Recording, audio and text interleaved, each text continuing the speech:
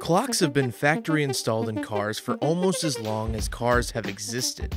It's helpful to have an idea of the time while driving to your destination. But why do some 70s and 80s cars have the word quartz on their clocks? Is this a brand of clock? Is it just a marketing term? And why did they go away? Let's find out.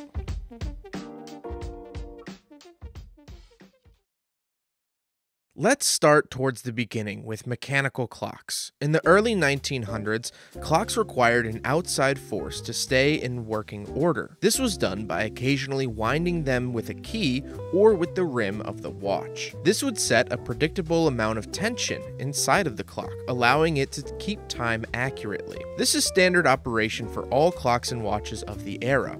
Most smaller clocks needed to be wound every two days, but to stay on top of things, it's best to do it regularly, or in this case, every time you drive your car. To further the issue with traditional clocks, their internal mechanisms are subject to extreme temperature change. As they heat up or freeze, they'll start to tell time differently as the materials inside expand and contract. This isn't really an issue for wall clocks or wristwatches since your home and body temperature is normally pretty consistent, but a car is a different story. It sits out in the elements where heat, cold, and inconvenient weather get at them all day, every day, and thus the clocks inside of them would be thrown off time as the weather changed. It was time to make some changes.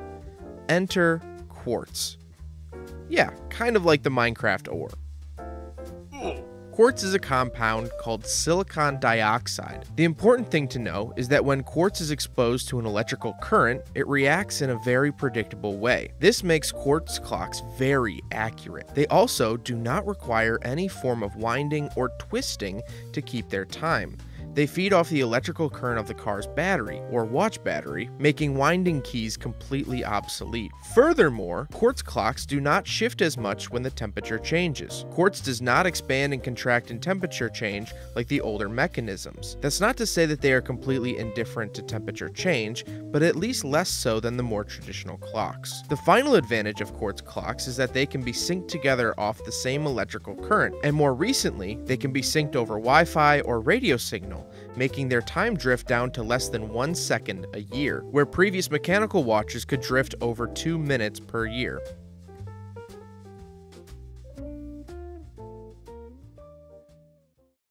So, when did this technology get into the public's hands? It was invented in the early 1920s. They nearly perfected quartz ability to keep time in 1923 at Bell Telephone Laboratories, which later became Nokia. Here's what's left of my local Bell Labs facility. It's nearly a ghost town. But maybe that's for another video. The issue with the first quartz clocks was their size.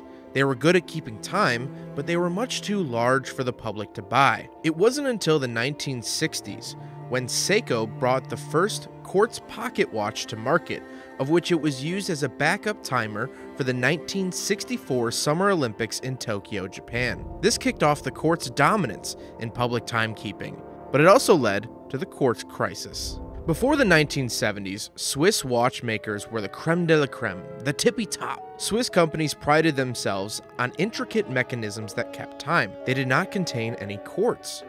Watchmaking in Switzerland was a large part of their culture and national pride, and thus they did not want to change to the new quartz digital era. Globally, however, consumers started to like the more accurate and new technology of quartz.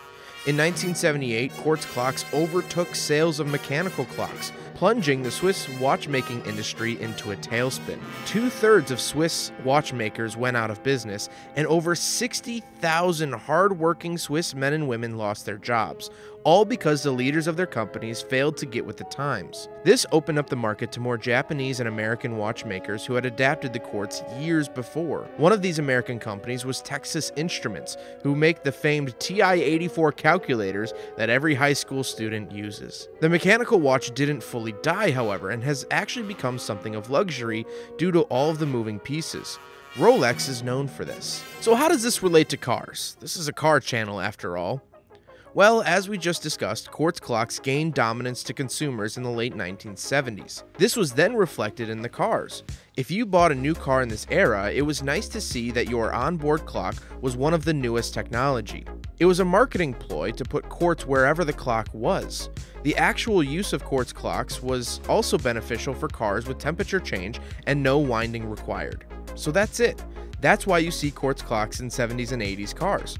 It was the new, best timekeeping tech at the time, and car makers wanted to make it known to their buyers. But where did they go? Why did quartz clocks go away? Well, they really didn't. Quartz is still a great way to keep time in a car, but it later became unfashionable to label them as quartz. It's the same as cars advertising disc brakes. In the 1970s, that was a big deal, but now pretty much all passenger cars have disc brakes. It's no longer marketed as such a big deal. However, now with the entrance of screens in cars, quartz clocks are finally starting to be phased out in favor of software and over the air time updates. So that's the story of quartz clocks in cars. Odds are, if you own a vehicle after the late 1970s and it has an actual clock in it that's not on a screen, it's a quartz clock. So, now you know. I hope you guys enjoyed this video. I also did a similar video about speedometers in the 1970s and 1980s. Please go check out that video. It'll be linked at the end of this one. And if you guys have any topics you want me to talk about that have to deal with 70s and 80s cars, little intricate pieces that you might not know too much about, please leave it in the comment section down below. I'll be sure to make more of these mini documentaries. But I hope you guys enjoyed it. Don't forget to rate the video, comment on the video, and subscribe if you really liked it. Take care, guys.